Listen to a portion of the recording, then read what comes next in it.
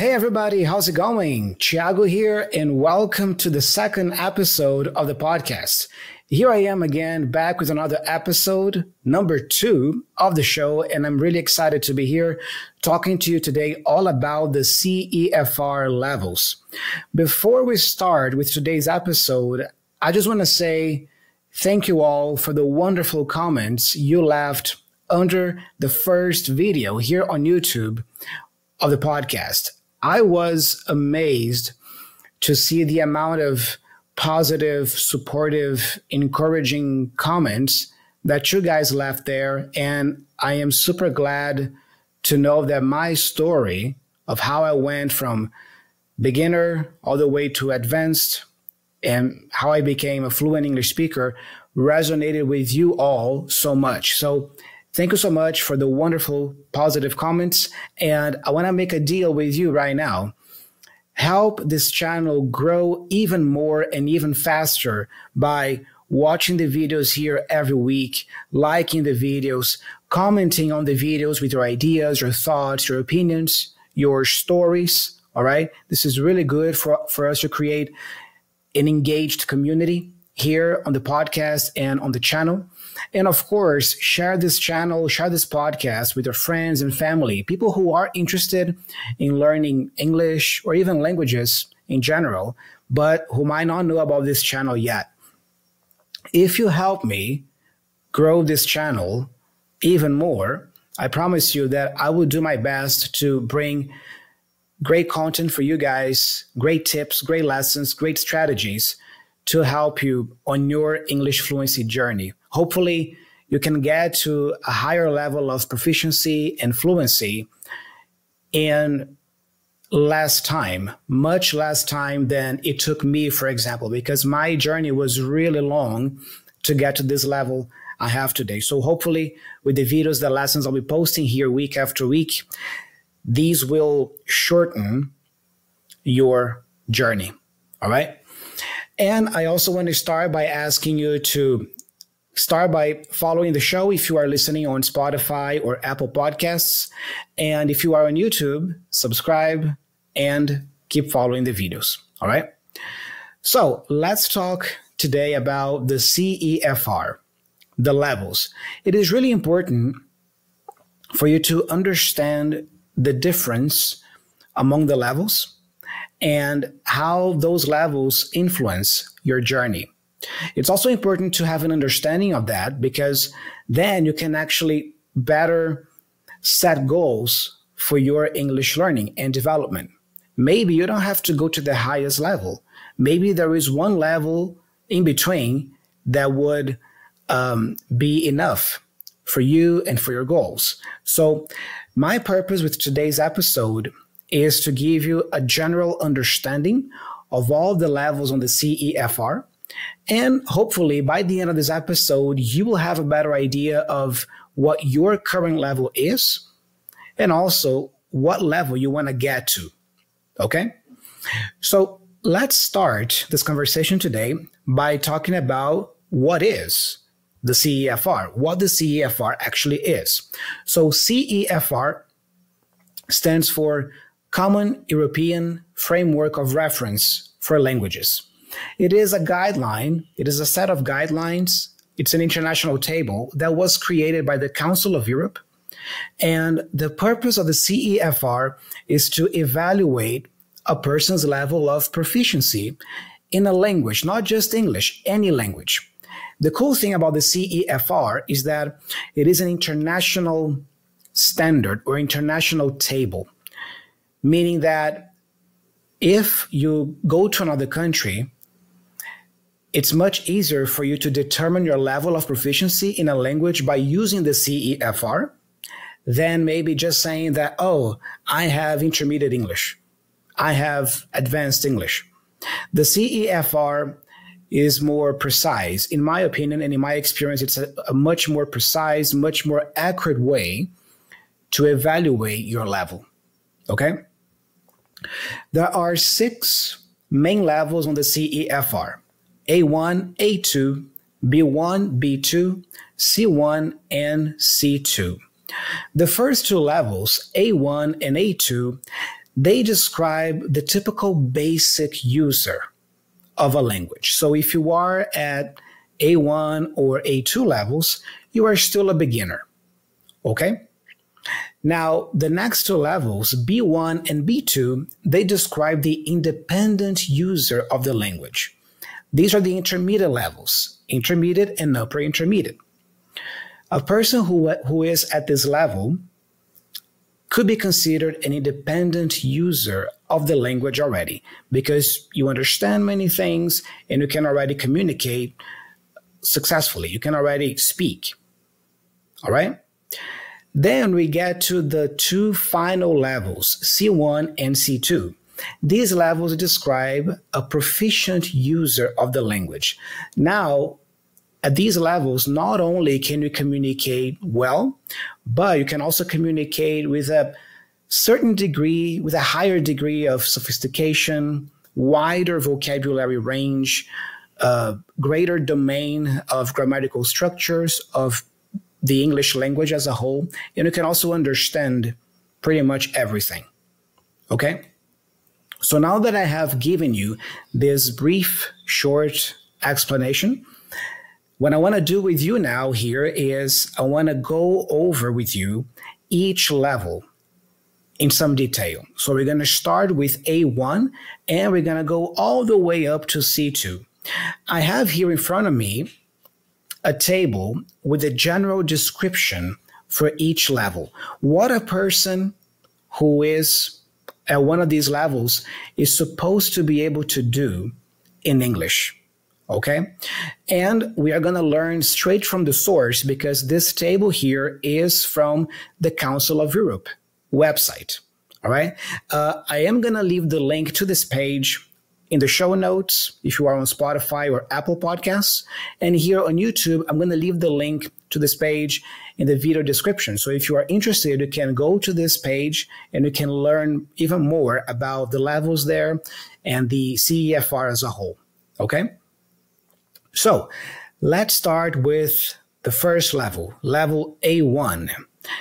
I'm going to be reading the description here and pausing sometimes and making some comments based on my experience because I have been teaching English now for many, many years. So I'm going to try to add also my teaching experience to the description here, what I observe in terms of levels and in students. Okay. The first level, A1. Listen, can understand and use familiar everyday expressions and very basic phrases aimed at the satisfaction of needs of a concrete type. It's important that we pay attention here to certain key words. The difference between the levels is often in certain keywords. For example, here we have familiar everyday expressions. That's a key phrase. And very basic phrases. That's A1 level. Let's continue. Can introduce him or herself and others, and can ask and answer questions about personal details, such as where he or she lives, people he or she knows, and things he or she has. You see, so here we have more details. Can introduce yourself. Hi, my name is Thiago. Nice to meet you. What's your name? This is an example of language typically used by an A1 level learner. Okay? You can talk about where you live. I live in Brazil. I live in England. I live in the US. Okay? And also things you have. I have a house. I have a car. I have one son. I have two daughters. Okay? Finally, we have here can interact in a simple way, provided the other person talks slowly and clearly and is prepared to help. Did you get that? This is really important information here.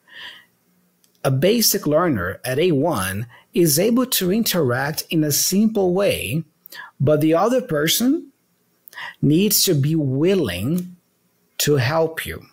Okay. So a person who is at an A1 level normally would have difficulties traveling because usually when you travel, not everybody there, not every local is willing to really help you understand the language or really speak slowly with you because they're usually in a hurry. They are going on about their business, their routine. So when you interact with natives abroad, you might suffer a little bit if you are at this first level. Okay? Simply because you need somebody who is willing to talk slowly and is prepared to help you with the communication with the language. That's A1 in summary. Let's move on to the A2 level now. Now, A2 is what I like to call a high beginner, a high beginner or even pre intermediate learner, whatever you want to call it. Some teachers call it high beginner, other teachers call it pre intermediate, uh, but both usually refer to A2 level. Let me read the description for you. Can understand sentences and frequently use expressions related to areas of most immediate relevance. For example, very basic personal and familiar information. Okay. Very basic personal and familiar and excuse me, let me read it again. Very basic personal and family information. Not familiar, but family. Okay. So you can talk maybe about your profession, a little bit about your job, what you do. You can talk a little bit about your family, how many brothers and sisters you have, cousins, grandparents, that kind of vocabulary. Okay. Let's continue here. We also have, can talk about shopping, local geography, and employment. Employment is work. Okay. Can communicate in simple and routine tasks requiring a simple and direct exchange of information on familiar and routine matters. Pay attention to the key words here simple. We are still dealing with simple interactions here, simple language, and also things that are more routine, more everyday routine. Your family, your work, your school, your studies. Okay? Can describe in simple terms aspects of his or her background, immediate environment, and matters in areas of immediate need. This is another key piece of information here. Can describe in simple terms aspects of his or her background. Your background is what happened to you in the past, your past experiences. So we usually start studying or teaching learners the simple past tense, for example, or the past tenses in English at around A2 level. At around A2, you start learning about the regular verbs, the irregular verbs in English, the simple past tense, the past continuous. You know, I was going, I did, I went, I didn't play. These kinds of structures. All right? And that's pretty much it about A2. So A2, you are still communicating in a simple way, but you are able to talk about more things than an A1 learner is. You can even start talking about your past experiences already at this level. Okay? Now, let's move on to the next level, which I believe that some of you out there will uh, recognize yourselves in, which is the B1 level. Now we are starting to talk about the intermediate levels. B1 is right in the middle, is a true intermediate learner. Okay? Let's check out the description here. Can understand the main points of clear standard input on familiar matters regularly encountered in work, school, leisure, etc. By the way, this word leisure means recreation. Leisure means recreation, fun. So I can ask you, what do you do in your free time? Or I can ask you, what do you do for leisure? For example, for recreation. Okay? Uh, some people pronounce it leisure, I guess it depends whether it's more of an American type of pronunciation or British type of pronunciation. I have heard some people saying leisure. I tend to pronounce it leisure. Okay. So there you go. Leisure, recreation. Let's continue here. Can deal with most situations likely to arise whilst traveling in an area where the language is spoken. Ah, you see, very important piece of information here. A B1 level speaker can deal, can handle the most situations that probably happen when you are traveling. So if you go to an English speaking country as a B1 speaker, chances are you will be able to handle yourself there in terms of communication. You're not going to starve, you know, in other words. So you're going to be able to maybe order a meal, buy something at a shop, talk to people there, that kind of thing. You are already an independent user. Remember? This is a nice word, by the way. Situations likely to arise.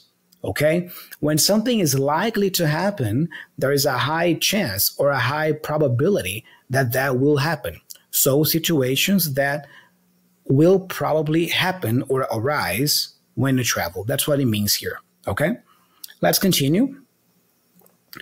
Can produce simple connected text on topics which are familiar or of personal interest. This is interesting because now at B1, the description is also talking about text production. In other words, writing. In A1 and, e, and A2, there wasn't any mention about writing. It was mostly about communicating, about speaking. But here now at B1, there is also writing involved. So you are able to write simple texts, okay, on topics that are familiar or of personal interest to you.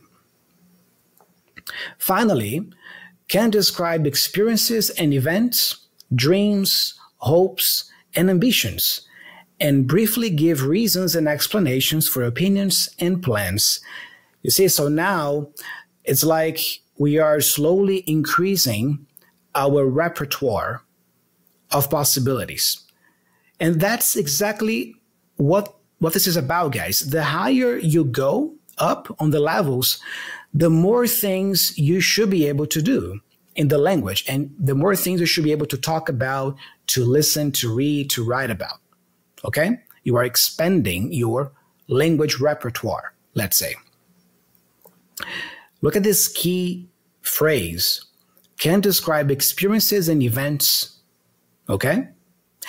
can describe dreams. You can talk about your dreams, hopes, and ambitions. So now we are also talking about the future.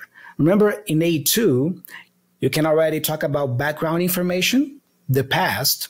Now in B1, not only the past, but you can also communicate using the future. So probably by now, by B1, you should be familiar already with will, will and won't for the future, how to use those. Going to or the famous gonna, as we say, the infamous gonna, right? I'm going to do this, I'm going to do that, I'm going to travel. Okay. And even present continuous with future meaning. It is possible to use present continuous with future meaning. For example, I am visiting my mom tomorrow. You see, I am visiting, that's present continuous, the, the structure, but the meaning here is future because of tomorrow. I am visiting my mom tomorrow. All right. By the way, if you are interested, I can make another episode all about the different future tenses. What is the difference, by the way, between will and won't, gonna, and present continuous for the future? Each one of these ways of communicating the future tense is possible in English, but they are slightly different. What is the difference? So let me know here in the comments if you would be uh, interested in having a podcast all about that, how to talk about the future in English. Okay. But you see, at B1 now, you can talk about the present, the past, the future. You can talk about personal things, work things. You can talk about your past experiences, your hopes, your plans for the future. So that's a B1 level speaker. Now, Let's move on to B2. And B2 is a really nice level. I like to tell my students that depending on their goals, B2 is already an excellent level to achieve. I mean, a solid B2 level, because that's the upper intermediate level, or some people call it intermediate advanced, meaning that you are not just an intermediate speaker anymore. There are some advanced aspects to your English at this level already. So let's read the description here for B2. Can understand the main ideas of complex text on both concrete and abstract topics. Mm. You see here, A1 and A2 were all about simple communication, simple things, right? But look at the first line here for B2. Understand the main ideas of complex text on both concrete topics and abstract topics. So now at this higher level, at B2, we start dealing more and more with abstract topics or even abstract language. For example, if I ask you about your family, tell me about your family. How many brothers and sisters do you have? Are you married? Do you have any kids? This is, a, this is an example of a concrete topic. It's something concrete. But if I ask you uh, something along the lines of if you found $1 million in a bag on the street, what would you do with it? This is not so concrete anymore. This is more abstract. You would have to imagine the situation, talk about what you would do and why. This is an example. Okay. So abstract topics are usually topics that revolve more around ideas. Or if I ask you to talk about uh, the best marketing strategy for a company to adopt, you see, this is more abstract in terms of information. It's not just, I live here, I work there, I have this, this, and that. Okay? Including technical discussions in his or her field of specialization. So at this level, a B2 level, if you are a professional, you can already engage in technical discussions related to your field, to your area. That is really cool, isn't it? Can interact with a degree of fluency and spontaneity that makes regular interaction with native speakers quite possible without strain for either party. Party here, the people involved. So if I'm talking to you right now, let's say that there are two parties involved in this communication that is happening now, me and you. I am one of the parties, you are the other party. Okay? That's what it means here, party. Now, did you, did you, guys hear this? you can interact well with native speakers and without strain for either party. Strain, when you strain to do something, you struggle to do it. You do it with a lot of difficulty. It's hard. It's not so smooth. It's not so easy or seamless. Okay? Meaning that what, I'll speaker should be able to interact to talk to a native speaker of English without much strain, meaning that you are able to easily understand what the native speaker is telling you, and the native speaker is also able to understand you because you have clear pronunciation. You might have an accent, which is normal. We all have accents. If we, we uh, if we're not native speakers of English, we're going to speak with some accent. That's okay. But it means that your pronunciation is clear enough that the native speaker doesn't have to strain or make a huge amount of effort to understand you. Okay? Let's continue here. Can produce clear, detailed text on a wide range of subjects and explain a viewpoint on a topical issues, given the advantages and disadvantages of various options. So again, there is writing involved here. So a true B2 level learner should be able to also produce texts. You see, should be able to write emails, reports, letters, all right? And these texts are clear, detailed, and on a wide range of subjects. So at this level, you should be able to write an essay, for example, about various topics because you have the vocabulary, the knowledge of the grammar already in place to be able to do that. And you should also be able to explain a viewpoint. A, view, a viewpoint is an opinion, okay? A viewpoint is how you view something on a topical issue. Something topical is something that is relevant nowadays.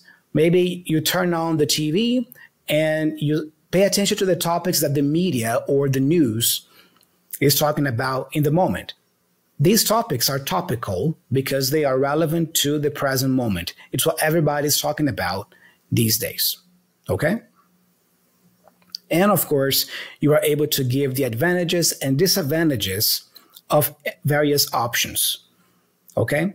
Again, it, it connects to that idea of the abstract topics, right? You are able to deal with abstract topics more effectively here at B2 level. You can talk about the advantages of something, the disadvantages of something. Just to give an example, talk about the advantages and disadvantages of working remotely or working from home.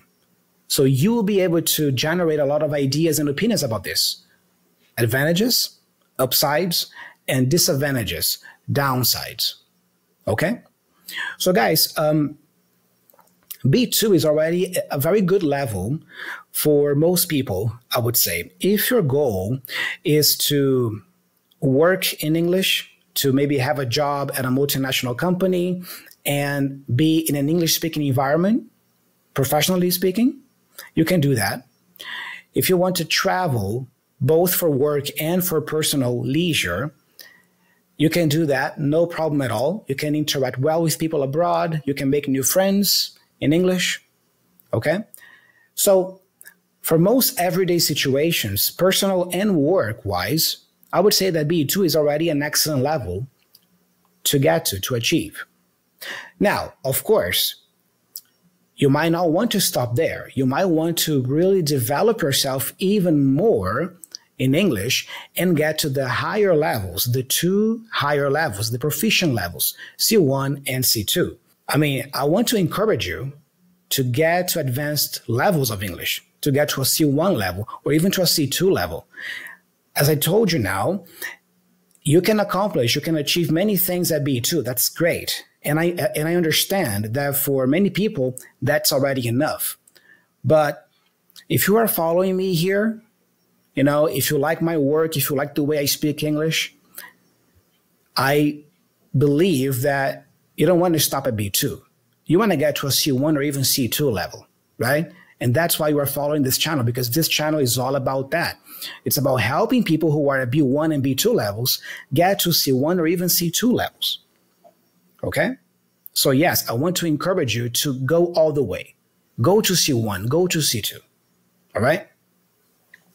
Having said that, let's talk a little bit now about the advanced levels, starting with C1.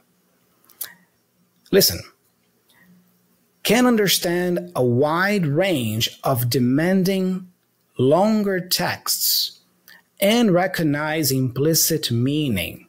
Mm.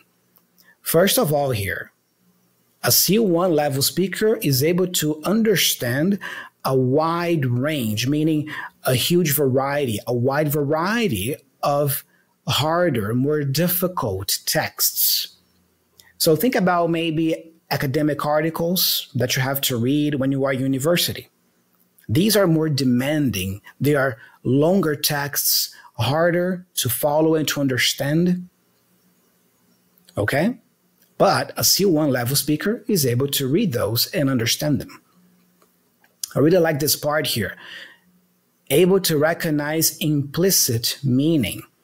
In other words, meaning that maybe is written between the lines as we say, right? Because we have implicit and explicit meaning. Something explicit is something obvious that is there. It, it doesn't demand much effort for you to understand it. But implicit meaning is something a little bit more between the lines, not so obvious. So you need a higher level of understanding to be able to draw meaning from a longer, more demand, more demanding, excuse me, type of text. Let's continue here. can express him or herself fluently and spontaneously without much obvious searching for expressions. So you are fluent at this level. You can express yourself, you can communicate fluently without much obvious searching for expressions, meaning that you don't stop so much to think about the words you're going to say. Or if you stop, it's not a super long pause. It's not so obvious that you are not talking because you are trying to remember the next word you're going to say next. Okay? Let's continue here. Can use the language flexibly and effectively for social, academic, and professional purposes. You see again the repertoire opening and widening even more, right? An advanced level speaker can use the language flexibly, you see, with flexibility and effectively, not only in social situations and work situations like a B2 level speaker can, but also academic situations. You see?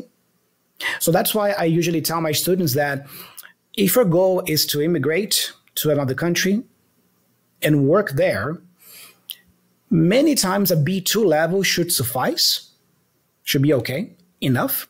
But if you plan to study abroad, if you want to maybe go to college abroad, if you want to maybe um, take some sort of course that is more academic, at least a C1 level would be the best option. Okay? Let's continue here. Now, about the text again, about the writing, right? Can produce clear, well structured, detailed text on complex subjects, showing controlled use of organizational patterns, connectors, and cohesive devices. So, at this level, you should be able to write a script, an email, a report, an essay that is detailed, well structured, and even on complex subjects. Okay? And I really like this part showing controlled use of organizational patterns. So you know how to structure the paragraphs in your text. You know what an introduction is, conclusion is, what a topic sentence is, and what supporting details are for paragraphs. Okay? And you also have a controlled use of connectors and cohesive devices. These are the, the linking words, the conjunctions. Maybe when you are at a lower level, maybe B1 or even B2, you might write or even speak with words like but, because, so, and. These are connectors too, but they are much basic, much more basic, right? Now, at this level here, if you're writing an essay, you're going to use connectors such as, such as, as I just said, but in addition, moreover, on one hand, on the other hand, however, nevertheless, nonetheless, due to, owing to, for example, for instance, in conclusion, in summary, to sum up, you see, all these are more advanced cohesive devices connectors that are useful not only for a more formal type of text like an essay, but also if you're giving a presentation. Maybe you are giving a, a formal presentation at work, you are meeting with very important people at work, meeting with directors, and you want to sound more professional, more formal. These words are great, depending on the situation. If the situation requires something more formal, okay? So the main difference between B2 and C1, I would say, is that at C1, there is a wider range of possibilities, a wider range of vocabulary you know, understand, and use. You know a wider range of grammatical structures, and you can use them also very well. And you are able to deal with pretty much anything that is more complex or hard or demanding in terms of uh, texts, podcasts, videos. You understand all of those and you communicate effectively and fluently. Okay? Now, let's move on to the last level which is the C2 level. The C2 level is actually very similar to a C1 level. The difference is that now at this stage, uh, it's more about the minor details, the finer nuances of language than anything else. I like to, to, to say that the higher you go on the levels, the more difficult it gets for you to start seeing real progress. Because when you are a complete beginner, A1, and usually from A1 to B1, I would say, from A1 to B1, usually your progress is really quick, really fast. Maybe in a matter of a few months or maybe even a year, you already see tremendous progress. You go, oh man, I mean, six months ago, one year ago, I didn't speak anything. I was a complete beginner. Now I'm watching movies in English. I'm listening to Thiago's podcast now. No problem at all. I can talk to people as well. Sometimes I forget some words and stuff, but I can communicate. I can handle myself if I travel. And that progress from A1 to B1, I think it's really fast. It tends to uh, happen quickly. Now, something happens at around B1 plus going B2, that's when the plateau starts to settle or settle in. So for some people, it depends. For some people, uh, I like to say actually that maybe there are two plateaus. The first plateau is between B1 and B2. Going from B1 to B2 can already be a plateau. Uh, it's not so quick to happen, and it demands more of you you have to do more stuff, study more to see maybe some improvement. But then the second type of plateau is from B2 to C1. Okay? Because uh, if you are at a B2 level, you are comfortable already with the language. You use it every day. You know, you can speak. And even though you can speak, you can communicate, you still feel deep inside that something is missing or that you could be doing more, but you don't know exactly what. That's the typical plateau that a B2 to C1 learner faces. Okay. Now, once you are at a C1 level, if you are a solid C1 learner, I think going to C2 is not that difficult. I mean, yes, it's going to require some effort on your part, but if you are true C1, a solid C1, it shouldn't take you a long time to get to C2. Okay? But let's read here the definition for C2. Can understand with ease. Listen to this keyword with ease. When you do something with ease, you do it easily. Okay? So, can understand with ease virtually everything heard or read. Virtually meaning almost. In other words, if you are at a C2 level, you can understand pretty much everything that you hear or that you read. No matter what you read, no matter what you hear, what you listen to, what you watch, you're going to understand with ease, easily. So at this stage, your listening skills are really, really sharp. Okay? Let's continue here can summarize information from different spoken and written sources, reconstructing arguments and accounts in a coherent presentation. You see, so now you, you are able to summarize information.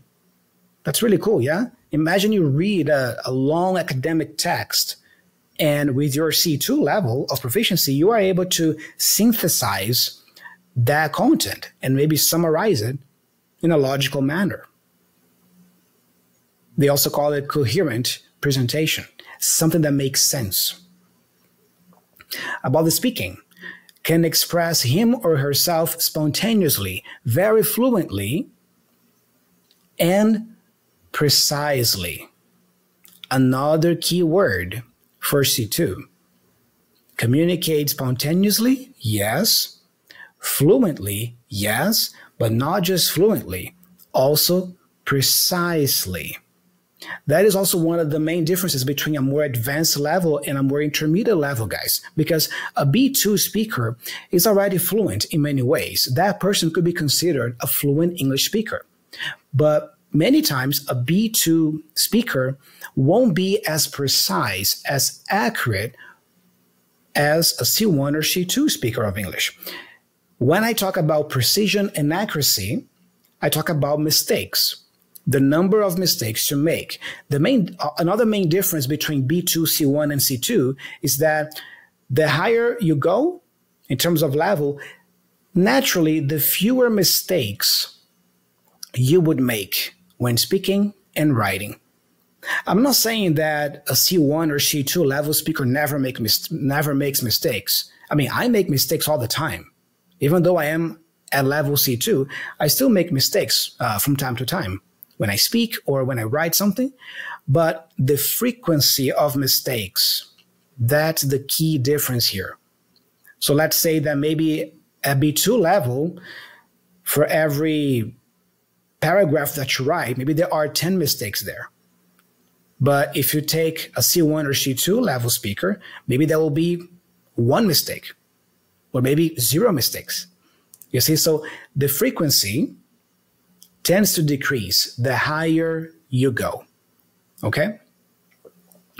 Finally, differentiating finer shades of meaning even in more complex situations. So now you are able to deal even more with nuanced, nuanced, excuse me, nuanced information, abstract information, and you are able to get the finer shades of meaning. For example, uh, at, at at C2 level, you are able to fully understand jokes, for example. If you're watching a stand up comedian on Netflix, for example, speaking really fast and making a lot of jokes and using a lot of sarcasm, that kind of language, that kind of thing, you should be able to understand uh, that type of humor, that type of joke. It's the finer shades of meaning. Okay? So, guys, that's it. This is a brief overview of the CEFR levels. Keep in mind that these are the general descriptions for each level.